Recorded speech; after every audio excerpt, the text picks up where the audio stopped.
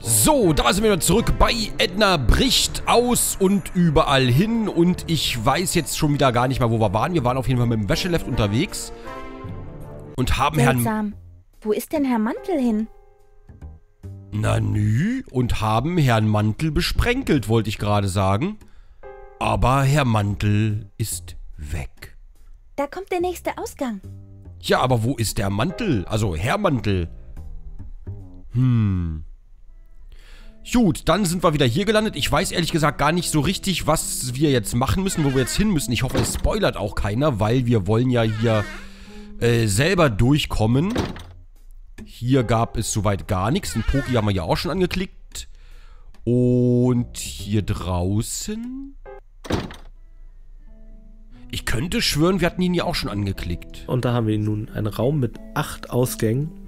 Ja, was mich immer sehr genervt hat, war, dass man äh, später im Spiel auch hinter diesem Gitter spielen kann und dort die Türen halt alle so unglaublich klein sind. Mhm. Und ich habe auch dummerweise, ich weiß gar nicht mehr warum, aus Übermüdung, ich habe äh, eine Tür zu viel reingezeichnet.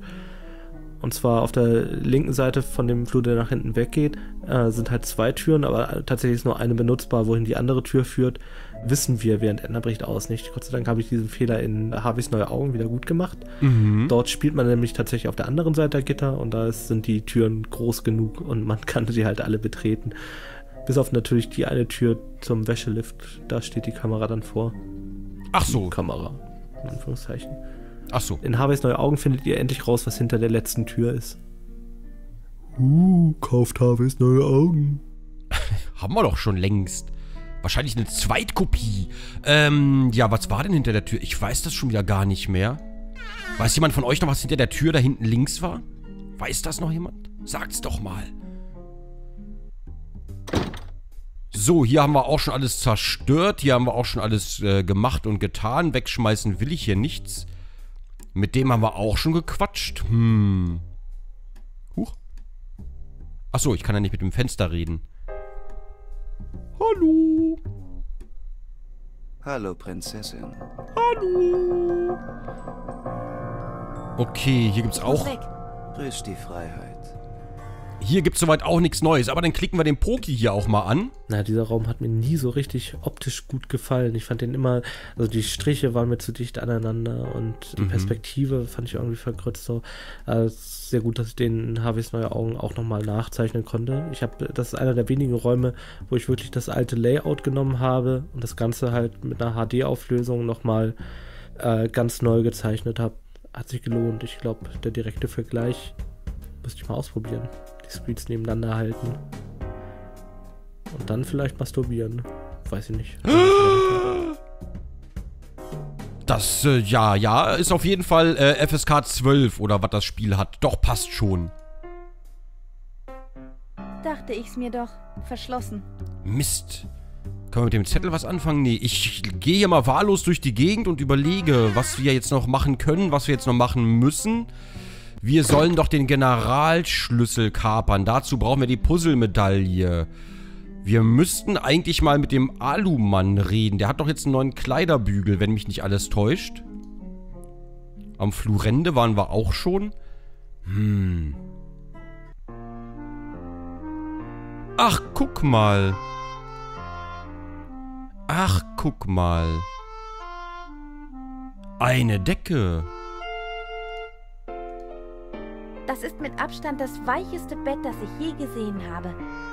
Ja, ich würde mal sagen, dann, ich würde am liebsten sofort die Chips reinkrümeln, aber ihr kennt ja das Prozedere. Hiermit kann ich kein Unheil mehr anrichten. Der Stinkdrink ist leer. Schade. Vielleicht ein Kleiderbügel? Das Laken ist zu groß für den Bügel. Man möchte sich direkt reinfallen lassen. Dann mach es doch, aber ich glaube, da sind die Zwillinge drunter. Steht nichts davon, dass man sich die Cocktails ans Bett bringen lassen kann. Da steht aber auch nicht ausdrücklich, dass es nicht geht. Die Handschrift des Barmanns ist einfach zu schwer zu entziffern. Ich habe Hoti und Moti nicht nach ihrer Telefonnummer gefragt. Ich Idiot. Wieso willst du die daten, die beiden? Was sagt ein Droggelbecher dazu? Ih, da liegen jetzt Fußnägel auf dem Bett.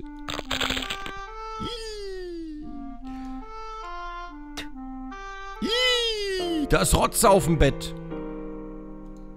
Das ist kein Nachttopf. Wäre aber lustig, wenn wir den auch noch drüber auskippen könnten. So, alles mal kaputt machen. Kennt ihr doch.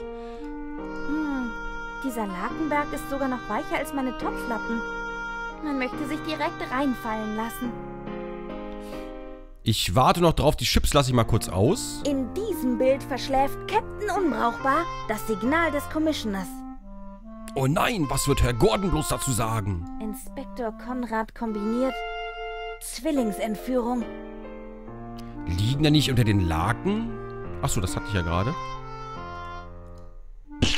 Hm, immer schön drauf da. Sieht aus wie zu Hause. Guck mal, Harvey, ein Laken. Igitt, tu es weg. Sauber, sauber Gift, sauber, sauber Gift. Es tut mir direkt in den Augen weh. Naja, aber sauber ist was anderes, würde ich behaupten. So, das haben wir auch. Dann noch ein bisschen drauf rumklöppeln. Damit verschwende ich nur wertvolle Überschussenergie. Das Bett ist so weich, das federt alles ab. Ja, kannst dich doch mal abreagieren. Vielleicht was draufmalen? Und vielleicht noch ein bisschen reinkrümeln. Uh, im Bett darf man aber keine Chips essen. Ja, hat funktioniert. Wunderbar. Jetzt müsste doch eigentlich alles gewechselt werden, oder?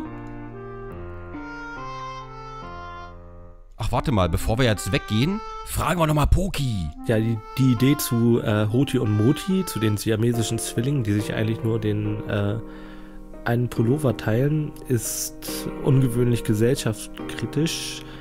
Und deswegen ist es auch gar nicht äh, weiter verwunderlich, dass die Idee zu den beiden äh, gar nicht von mir stammt, sondern von meinem guten Freund und damaligen Helfer in allen dramaturgischen Fragen, Erkan Yilmaz, der sehr viel Spaß dran hat. Ich glaube, ich äh, habe nicht ganz verstanden, worauf er hinaus wollte. Deswegen äh, geht die gesamte Gesellschaftskritik um die beiden verschiedenfarbigen siamesischen Zwillinge hier den Bach runter. Peinlich aber wahr. Äh, die Idee von, äh, die, die, die ich dazu beigesteuert habe, ist Broti, der siamesische Drilling, der aber gar nicht da ist, der Kunstgeschichte in Paris studiert. Das mit den Zwillingen, mit dem einen Pulli, den sie sich teilen, hat mich auch ein bisschen an, äh, wie hieß es nochmal, Day of the Tentacle, ne? Wenn man zum Schluss da so am Zeitreisen ist, pipapo, und dann kommt man doch da aus der Maschine raus mit dem großen Pulli. War das nicht so? Ich habe das nicht mehr so ganz im Kopf, aber ich glaube, das war so war bestimmt auch Gesellschaftskritik. Keine Frage. So, wir haben das Bett erfolgreich vollgesaut. Jetzt ist die Frage, wenn wir jetzt hier weggehen. Ist das Laken noch da, wenn wir wieder hingehen? Oder wird es schon direkt weggeräumt? Das Laken ist noch da.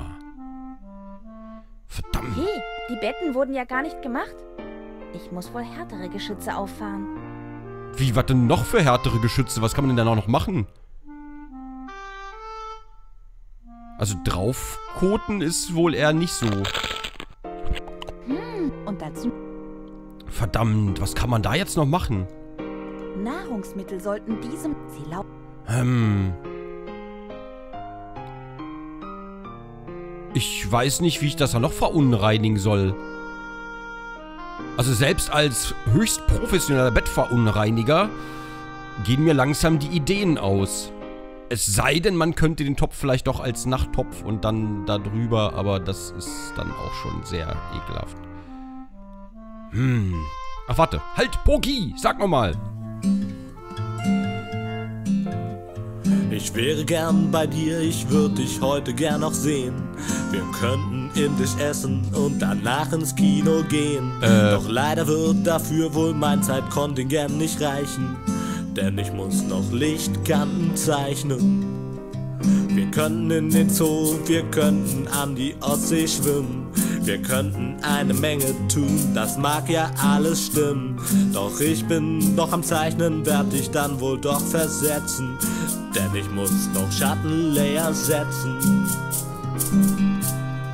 Schattenlayer setzen. Lichtkanten zeichnen. Schattenlayer setzen. Und Lichtkanten zeichnen.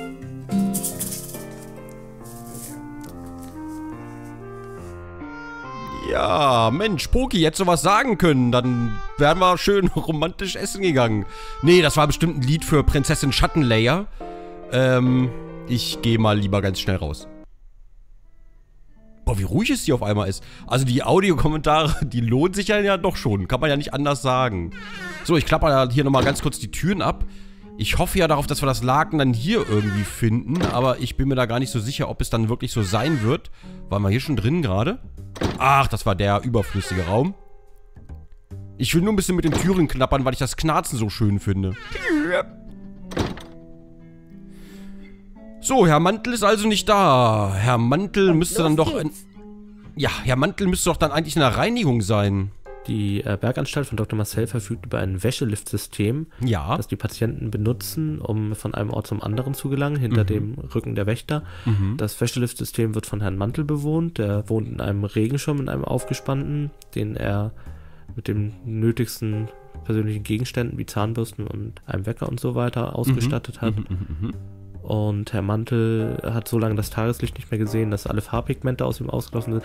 Der ganze Sachverhalt ist so krude und an den Haaren herbeigezogen, dass ich mich frage, warum mich nie jemand danach gefragt hat, was überhaupt alles für ein Quatsch ist. Das macht überhaupt keinen Sinn. Ja, wahrscheinlich sind einfach so viele bescheuerte Annahmen äh, getroffen worden von mir hier an dieser Stelle, äh, dass man einfach abschaltet und denkt so, ach egal, jetzt akzeptiere ich das auch noch.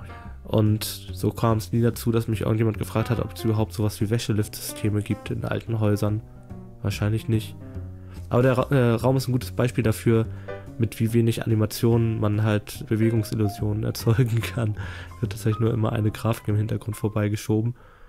Eine nette Sache, die ich noch erzählen kann, ist, dass Jens Andresen, der den Herrn Mantel gesprochen hat, äh, zu den Aufnahmen extra so ein falsches Gebiss mitgebracht hat. Falsche Zähne, damit, äh, weil er mit dem Gebiss halt irgendwie so klang, als hätte er keine Zähne mehr. Tatsächlich hat er also zweimal zwei Zahnsätze im Mund und nicht keine Zähne. Jens hat die Zähne übrigens zu den Aufnahmen von Harveys Neue Augen wieder mitgebracht. Wahrscheinlich hatte er sie drei, vier Jahre lang nicht im Mund. Hoffen wir mal, dass er genügend Corriga-Tabs hatte. Oder vielleicht hatte er die die ganze Zeit im Mund. Zwei Zahnreihen sind doch eigentlich cool. Da kommt der nächste Ausgang. Du sagst es. Ja, und ganz ehrlich, ich... Huch, ach, guck mal, wo wir sind. Ach ja, aber ich weiß immer noch nicht, wie ich hier, wie ich hier abspringen kann. Hilfe! Oh. So kann ich hier also abspringen. Ach Mensch. Einen Kleiderbügel haben wir hier noch. Das ist wahrscheinlich der von Herrn Mann... Herr Mantel. In der Waschmaschine. Huch, nein, du sollst den natürlich... Du kannst ihn auch erstmal ansehen. Guck mal. Das ist die Nummer 1. William Riker. Nee, nimm doch einfach mit. So, jetzt haben wir auch die Nummer 1. Wir haben die Nummer 1 und die Nummer 2. Und die Nummer 1 geben wir dann wahrscheinlich, vermute ich mal, dem Alumann. Nummer 1. Und das hier? Nummer 2. Hey. Und das da? Das ist ja Herr Mantel. Können wir mit dem quatschen? Der hat bestimmt gerade nichts zu tun. Herr Mantel? Er hört mich nicht. Schade. Können wir vielleicht noch irgendwas dazu machen? Hier, Waschmaschinen. Hm, hm, hm. Das sind ziemlich große Waschmaschinen. Hm, können wir die benutzen? Heute ist nicht Waschtag. Können wir vielleicht ein bisschen Senf in das frische Fach packen? Ja, nimm es weg. Nimm es weg. Du brauchst keine Angst zu haben. Das ist bloß Senf. Böser Senf. Böser Hobbit. Macht böse Flecken. Okay, das geht wohl nicht.